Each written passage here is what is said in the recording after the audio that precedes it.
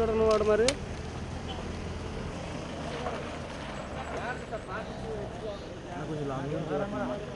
కావాలంటే అలాగన్నా. ముందుగా సీనియర్ నాయకులు ఎంవిఎస్ఎస్ మూర్తి గారికి తీవ్ర ప్రగాఢ సంతాపాన్ని తెలియజేస్తూ ఉన్నాం. దాంతోపాటుగా రాజకీయాల్లోకి వచ్చినప్పుడు కొత్తగా పవన్ కళ్యాణ్ మా జిల్లాలో తిరుగుతూ నియోజకవర్గానికి ఇరవై ఐదు కోట్లు ఖర్చు పెడుతున్నాను ఒక తప్పుడు ప్రచారం చేస్తూ ఉన్నాడు. ఎందుకంటే నోట్ల ద్వారా ఓట్లు వస్తాయన్న సంగతి పీఆర్పీ పెట్టినప్పుడు వాళ్ళకి తెలిసినట్టుగా ఉంది. ఎందుకంటే దాదాపుగా ఐదు వందల కోట్ల రూపాయలు ఆ రోజు అల్లు అరవింద్ గారు అదేవిధంగా వాళ్ళ అన్నయ్య అందరూ వసూలు చేసిన తర్వాత దానికి ఈ రోజుకి లెక్కలు లేవు. అర్ధాంతరంగా పార్టీని మూసేసి కాంగ్రెస్లో కలిపి ఏ లావాదేవీల కోసం కలిశారు ఏ డబ్బుల కోసం కలిశారు అనేది ప్రత్యేకంగా పవన్ కళ్యాణ్ చెప్పాలి. ఎవరు చెప్పడానికి కూడా లేదు. ఎందుకంటే ఆ రోజు యువరాజ్యం పేరుతో నీతివంతమైనటువంటి పార్టీని స్థాపిస్తానని చెప్తా ఉన్నాడు. దాంతోపాటు ఈరోజు పవన్ కళ్యాణ్ గారు మాట్లాడుతూ ఉన్నారు. చాలా విచిత్రంగా ఉంది. తెలుగుదేశం పార్టీని అధికారంలోకి రానియం తెలుగుదేశం పార్టీని అధికారంలో రానియటానికి ఇది ఏమన్నా వాళ్ళ బాబు జాగీరా? ఈరోజు బడుగు బలహీన వర్గాల కోసం అదేవిధంగా ఎవరైతే దళితులు ప్రత్యేకంగా దా అధికారానికి దూరంగా ఉన్నారో వాళ్ళందరికీ అధికారాన్ని ఇచ్చి ప్రజల కోసం పెట్టినటువంటి ప్రజలే దేవుళ్ళుగా పెట్టినటువంటి అన్న నందమూరి తారక రామారావు గారి పార్టీని రానియను అనే దమ్ము ధైర్యం పవన్ కళ్యాణ్కి వచ్చిందంటే ఈరోజు పవన్ కళ్యాణ్ తన మాటలుగా నేనైతే అనుకోవట్లా. ఎందుకంటే తోలుబొమ్మలాట మనం చిన్నప్పుడు చూసాం. ఆ తోలుబొమ్మలాటలో అక్కడ వెనక మోడీ అన్ను అదేవిధంగా అమిత్ షా ఇద్దరు ఉండి ఆడిస్తూ ఉన్నారు. ఈ రోజుకి కూడా మరి తెలుగుదేశం పార్టీ రానికపోతే లక్ష కోట్ల రూపాయలు తన తండ్రి అధికారాన్ని అడ్డం పెట్టుకొని వచ్చినటువంటి జగన్మోహన్ రెడ్డి కట్టబెట్టాలని చూస్తున్నావా? నీకు ఎలాగో అధికారంలోకి రానని నువ్వే చెప్తా ఉన్నావు. మరి ఎవరి కోసం ఈ డ్రామా అంతా చేస్తూ ఉన్నావు? ఎవరి కోసం ఈ విధంగా నటిస్తూ ఉన్నావు? నీకున్న నటన కౌశల్యం. ఎందుకంటే పిల్లల్ని చిన్న చిన్న పిల్లల్ని పద్దెనిమిది సంవత్సరాల వాళ్ళని ఉద్రేకపూరితంగా నీ సభలకు వచ్చినంత మాత్రాన వాళ్ళు కూడా నీకు ఓట్లేరు ఎందుకంటే గత అనుభవాలు ఉన్నాయి. అనుభవాలను దృష్టిలో పెట్టుకో. ఎప్పటికైనా సరే కోట్ల రూపాయలతో అధికారాన్ని చేజిక్కించుకోవాలనే నీ కళ యువరాజ్యం ఏదైతే ఆ రోజు ప్రజారాజ్యం ఉందో ఆ రోజే నీ కళ పూర్తిగా చెదిరిపోయింది. ఇప్పుడు నీకు మైండ్ కూడా చెదిరినట్టుగా ఉంది. ఈరోజు డబ్బులు ఇచ్చి ఓట్లు కొనుక్కునే పరిస్థితి తెలుగుదేశం పార్టీకి లేదు. దేశంలో ఎక్కడా లేని విధంగా పార్టీ కేడర్ బలంగా ఉంది. ప్రజలతో మమేకమయ్యాం. సంక్షేమ కార్యక్రమాలు చేసుకుంటా ఉన్నాం. అభివృద్ధి కార్యక్రమాలు చేసుకుంటా ఉన్నాం. నూటికి ఎనభై శాతం సంతృప్తి ఈరోజు ప్రజల్లో చూడబోతా ఉంటే పవన్ కళ్యాణ్ మరి ఏ డైరెక్షన్తో వెళ్తున్నాడో నాకు ఇంతవరకు అర్థం కావట్లే. టోటల్గా ఆయనే కన్ఫ్యూజ్ కన్ఫ్యూజన్ మాస్టరు. కన్విన్స్ చేయలేడు. ఏ విషయంలోనూ అతను కన్విన్స్ అతనగాడు జనాలు చేయలేడు. కానీ ఆయన దగ్గర ఉన్న ఒకే ఒక సూత్రం ఏంటంటే కన్ఫ్యూజ్ చేయటం. ఆ కన్ఫ్యూజ్ చేసే క్రమంలో ఏదో అవాకులు చవాకులు పేలటం నాలుగు సినిమా డైలాగులు చెప్పటం అక్కడి నుంచి మాయమైపోవటం. ఏదన్నా సమస్య వస్తే నువ్వు ఎక్కడ దొరుకుతావో చెప్పు మా జిల్లా వాళ్ళకి. లేదా మా రాష్ట్రం వాళ్ళకి చెప్పు. నీ అడ్రస్ ఎక్కడో చెప్పు. ఈ రోజుకి కూడా నువ్వు ఏదో శంకుస్థాపన చేసి పారిపోయినటువంటి వ్యక్తివి ఈ రాష్ట్రాన్ని ఉద్ధరించడానికి వస్తావా?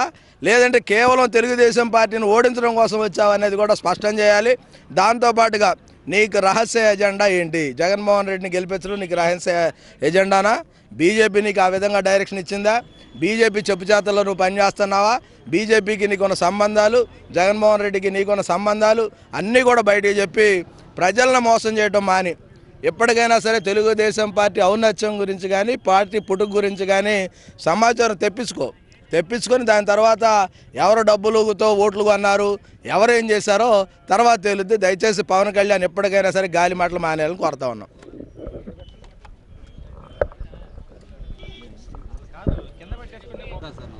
మంచి మనిషిని కోల్పోయాం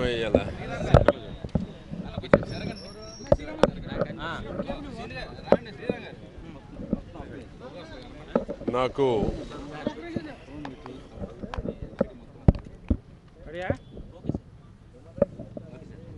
శాసన మండలి సభ్యులు ఎంఈవిఎస్ మూర్తి గారు నాకు అత్యంత ఆత్మీయులు. కుటుంబ సభ్యుల్లాగా మాకు పెద్దగా ఉండేటువంటి వాళ్ళు మంచి సూచనలు సలహాలు ఇస్తూ నేను రాజకీయాల్లోకి వచ్చిన దగ్గర నుంచి నా శ్రేయోభిలాషిగా ఉన్నటువంటి ఒక కుటుంబ సభ్యుడు మా మూర్తి గారు. ఈరోజు ఆయన మరణ వార్త విన్న తర్వాత మేమందరం కూడా చాలా దిగ్భ్రాంతికి గురి కావటం జరిగింది. ఒక మంచి వ్యక్తి ఒక మంచి విద్యాదాత రాజకీయాల్లో రాజనీతిజ్ఞతతో ఉండేటువంటి నాయకుడుగా శాసన మండలి సభ్యులు ఆయన నా శాఖకు సంబంధించినటువంటి అనేక ప్రశ్నలు కూడా సభ దృష్టికి తీసుకొచ్చినప్పుడు బాగా స్టడీ చేసి శాసన మండలిలో ప్రశ్నించేటువంటి ఒక మంచి సీనియర్ నాయకుడు పార్లమెంటు సభ్యునిగా కానీ ఇటు శాసన మండలి సభ్యునిగా కానీ ఒక మంచి పేరు ప్రతిష్ట ఏదైనా ఒక విషయం మీద పూర్తిగా స్టడీ చేసి అవగాహన చేసుకున్న తర్వాతనే శాసన మండలిలో చర్చకు వచ్చేటువంటి వారు. ఆ విధంగా గీతం యూనివర్సిటీ ద్వారా లక్షలాది మంది విద్యార్థుల్ని ఈరోజు దేశ విదేశాల్లో ఆయన పేరు చెప్పుకొని అనేక స్థాయిలో ఉన్నత శిఖరాలకు ఎదిగినటువంటి విద్యార్థిని విద్యార్థులు దేశం ప్రపంచం నలుమూలలా పంపించినటువంటి ఘనత కూడా ఎంఈవిఎస్ మూర్తి గారిది.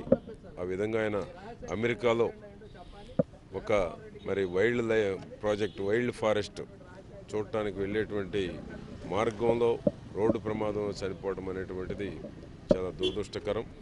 ఏది ఏమైనా ఒక మంచి నాయకుడిని విద్యా సంస్కరణల కోసం కూడా కృషి చేసేటువంటి ఒక మంచి నాయకుడిని మనం కోల్పోవడం జరిగింది. ఇది రాష్ట్రానికి తెలుగు జాతికి కూడా మూర్తి గారి సేవలు మర్చిపోలేనటువంటి అటువంటి ఒక మంచి నాయకుడిని విద్యాదాతను కోల్పోవడం అనేటువంటి చాలా బాధాకరం. ఏది ఏమైనా వారి ఆత్మకు శాంతి కలగాలని వారి కుటుంబ సభ్యులందరూ కూడా నా యొక్క ప్రగాఢమైనటువంటి సానుభూతిని సంతాపాన్ని తెలియజేస్తా ఉన్నాను మాట్లాడు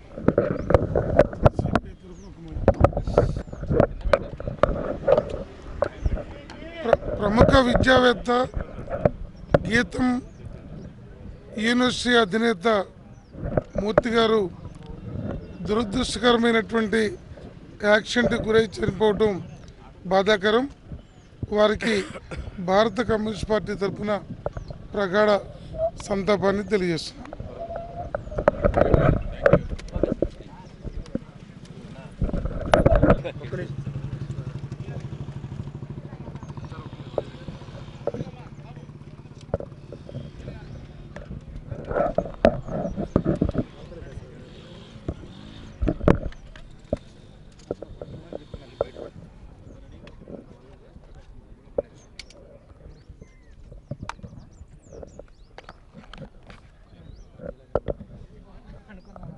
ఈరోజు చాలా బాధాకరమైన రోజు.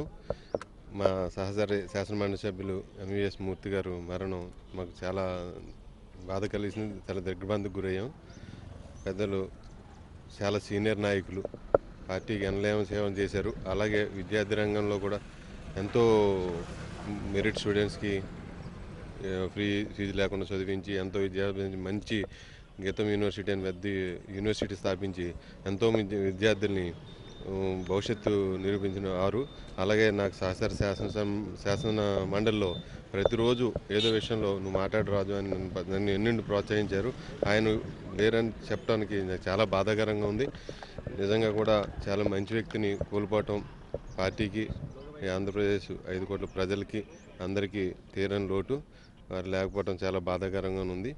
వారి ఆత్మకి శాంతి చేకూరాలని భగవంతుని మనస్ఫూర్తిగా కోరుకుంటున్నాను.